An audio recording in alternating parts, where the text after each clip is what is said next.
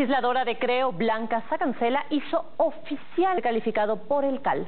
Andrea. Samaniego nos cuenta más desde Legislativa. Andrea, muy buenas tardes. Escuchamos, adelante, por favor.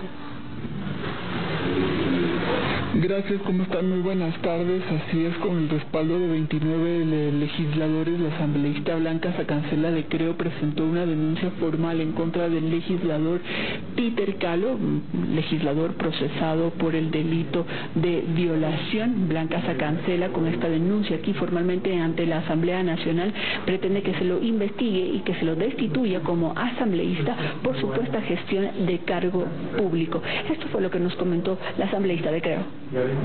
Recordemos que la denuncia que hace la víctima, la mujer de 19, eh, de 19 años embarazada y que eh, ha denunciado haber sido víctima de violencia sexual, eh, indica que ha sido citada precisamente porque se le ofreció un cargo público.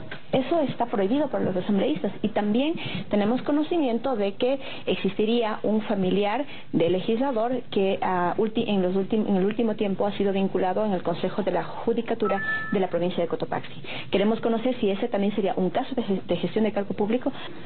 Y bien, el CAL deberá conocer esta denuncia presentada por Blanca Sacancela, calificarla y luego sí enviarla al Comité de Ética para que inicien las investigaciones. Con este serían tres ya los procesos que enfrenta Peter Calo, uno en la justicia, otro aquí en la Asamblea Nacional y el tercero dentro del bloque legislativo de Pachacuti, que el Comité de Ética de ese partido político también lo va a investigar, es lo que nos ha mencionado Manuel Medina, quien además también ha señalado que Peter Calo debería defenderse fuera de la Asamblea eh, Nacional, es decir, debería principalizar a su alterno. Esto fue lo que nos dijo Manuel Medina.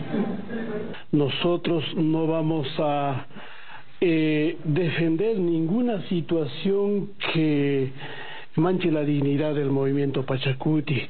Ahora, si este proceso termina eh, en una posible destitución del legislador, ¿ahí estarán los votos de Pachacuti? De hecho, cuando existe alguna algún dictamen que que atente contra la dignidad eh, de un asambleísta y también de un movimiento pachacuti, tenemos que hacerlo esto, porque tenemos que iniciar eh, demostrando y sembrando el ejemplo como asambleístas y como Pachacuti, que siempre nuestro proyecto político, nuestra disciplina tiene que ser vinculado en el respeto. Y bien, el legislador Peter Calo no tiene prisión preventiva, pero sí tiene una medida de llevar grillete, esto por el supuesto delito de violación del que ya está siendo procesado.